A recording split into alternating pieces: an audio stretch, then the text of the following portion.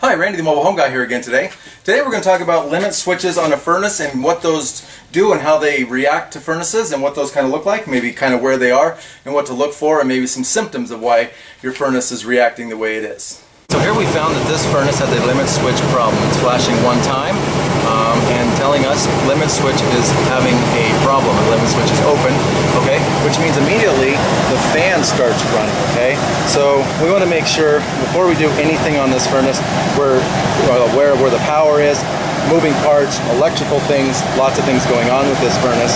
So the first thing that we're going to want to do is we're going to want to make sure it's not some hiccup with the furnace, okay?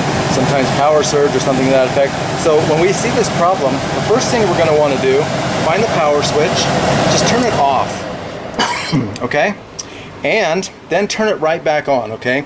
Wait five seconds turn it back on okay? Sometimes that problem goes away. It was a weird thing happened okay? And make sure that that uh, uh, doesn't keep continuing to happen. If you turn it off, it went away, a day later, same problem. You turn it off, you turn it back on, everything works fine for two days, again, a problem. Sometimes that means you might have a bad heat exchanger, your furnace is overheating for some reason. So it could be that um, the heat containment side inside of there is not doing its job. There's a bad problem in there. You want to check for heat exchanger. But the way to kind of test and make sure, say you turn it off, you turn it back on, same exact thing. Now we're going to go into limit switches and how to check them.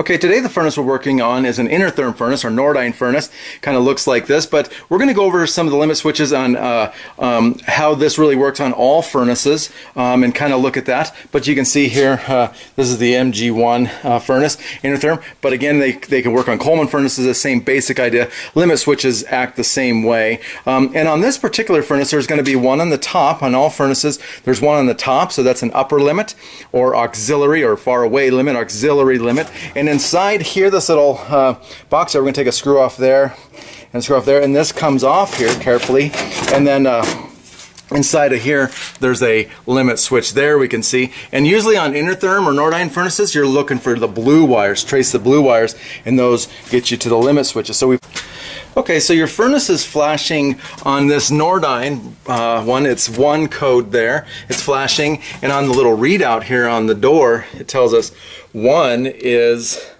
limit switch is open.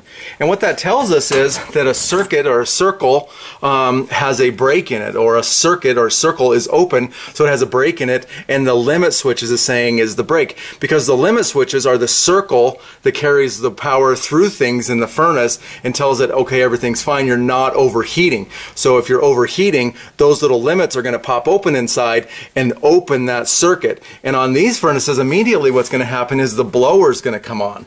So the blower is coming on uh, saying you're too hot, cool down. So if you have the promise of one flash there and your blower's going, which it should be if there's one flash saying limit switch, or if you have a different diagnostic code, sometimes the Coleman is four um, flashes saying limit, your fan should be running at that point. So if it's not, then it might be a different issue, but one flash limit switch is open means that one of the limit switches is having a problem most of the time. Sometimes circuit board, but we're gonna test and see. So we'll look at that. Okay, I want to go over a little bit on how limit switches work in a furnace. So limit switches are really just overheat sensors. So they have a line going through them at all times. They are have continuity through them. And if they overheat, that breaks the continuity. So if I wanted to text, test one of those, I would put my continuity tester on each side of that, take the wires off, test it. And if it has continuity in it, it's good. Um, it, it, does have continuity through it, that's its design. So if it doesn't have continuity through it, that means it's overheated or it's not good. So uh, what we're looking here at is the main power goes to the circuit board, which goes to the transformer, and makes one side of that transformer goes down to the gas valve, finds way down there. The other side finds its way to the thermostat, and the only open uh, uh, circuit part of this is in the thermostat. So there's an open line in there, and once the house calls for heat, or the thermostat calls for heat, it connects that inside of itself and sends that other power out through the limit switches, which again always have continuity, and into the gas valve, and you have ignition. So, and then there's a few things that happen. Um, and once that uh, cools down, that thermostat opens up again, stops flow through that system, and uh, the gas goes off, and the furnace is working correctly. Okay, so we've talked about what limit switches do on a furnace, and now we need to locate them on your unit. So um, there's an upper limit there, and usually on Nordyne they're followed around by blue wires. So everywhere there's blue wires is usually the limit. We want to make sure that we have the limits um, um, found. So we're going to need to take this front plate off, of course, and I want to make sure we turn off the power, and I want to make sure we're real careful. What we're doing, anything inside of this box full of power, very dangerous power. If you're not very uh, comfortable, I'd say even professional at this, I wouldn't try it. Um, just make sure you're real careful in here. Okay, lots of power in here. But what we're going to do is we're going to locate the limit switches. Here's one, and we're just going to have to blame one so that we can bypass them. What we're trying to do is bypass the limit. So sometimes I have a little clip that clips onto one side and clips onto the other with a wire connecting to them. That'll bypass that wire. But I'll assume that we don't all have that. Um, and uh, just the, the layman might not have that. So what I'm going to do is we're going to say we're going to take a wire, we're going to strip each end, okay, and we're going to making sure the power is off. We're going to take the spades off of here, off of this limit switches, and we're going to use that wire to connect them together, okay? And we're going to insulate them from touching any power or metal or anything, because that's going to create a spark, of course, and, and be very harmful. So we're going to put those two wires together, making sure these are not touching anything, the wire's not touching anything, and then we're going to turn the furnace back on. And if that completes the problem, say the problem goes away, then we're going to say that was a bad limit, we're going to replace that limit. If it's same problem, we're going to put the spades back on that one, we're going to move on to the next one and do the same exact thing go over the manual reset limits. So this is one of the manual reset limits. Um, this is where one wire goes, the other wire goes there, and in the middle there's this little clicking button. If it overheats, this little button will pop out. Now, not all of them or even half of them are really resettable. They re manually uh, don't reset. They just set, um, you know, by cooling down, they'll, they'll realign. Um, but this one, you actually have to push the button. So um, if you look around your furnace before you start anything else, of course, turn the power off, look and see if you have one of these manual reset buttons.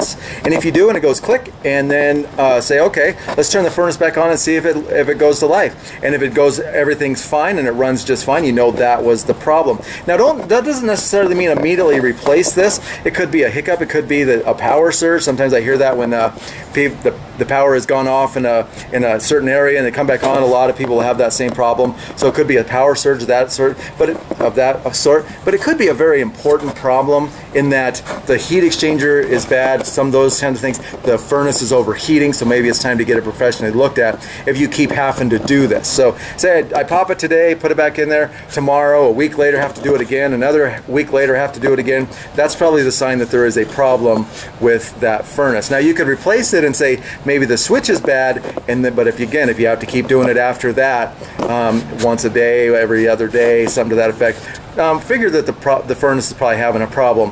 Um, one of the main things is check that filter, check, make sure it's clean, make sure it's all new to go, and um, make sure that your registers are all open, those kinds of things. That could be uh, getting the furnace heated up. But if none of those are the issue, you keep having to push this, it might be that the furnace is overheating for a potential problem. So get that looked at. Okay, so here's the part of the video where I get a bunch of complaints on how we're not supposed to use wire and those things to bypass, um, you know, this dangerous little way of doing this here. But this is a way of doing it, okay? You want to um, make sure that nothing's touching. You're going to be very careful, very dangerous what we're doing here by bypassing that. We're bypassing the limit with a wire to test that limit to see if what's happening inside the limit is bad. And this is what the limit is actually doing. It's connecting these two wires. So we're connecting the two wires. We're going to turn the furnace back on. Okay. Light stays on normal. Okay. And if your thermostat is up at this point, now you should start hearing the initial motor coming on as though it's going to do the right thing. We're going to say that limit is bad. Find the number. We're going to take that limit off. We're going to find the numbers on it, get that correct limit, put it back together, and hopefully all is well. Okay, I just want to show you here, um, we are looking specifically for different numbers and temperatures. So if we look here, we can see that on each and every one of these, there's an L140, there's a L110 to 115 to 190, 30, 90, 50. Um, there is a lot of limit switches, and those are all very important. We know that heat rises, of course, so that upper limit is going to have a higher temperature than the lower limit. We want to make sure that we're getting the right limit for our spot that we're going to be replacing. So lower limits are usually 140, 145, those kinds of things, depending on the size of your furnace. Upper limits 190, those kinds of things, sometimes 200, 185. So uh, when we get the furnace, uh, when we get the limit off of the furnace, what we're looking for is along the limit switch here, there's going to be right on that rim or on the metal part or those kinds of things, look really careful. So Intertherm parts usually have a 626 number and Coleman parts usually have a 7000 number on them. It's going to say L145 or something to that effect. Now if it says F, you know, in a low in a lower thing, that's a fan switch, okay? You don't find that much on newer furnaces at all. But if it says F something, that's fan switch, that's the wrong switch. We're looking at limit switches, L something, okay? So I just wanted to show you how many differences there are in limit switches. There's a wide variety, and this isn't even all of them.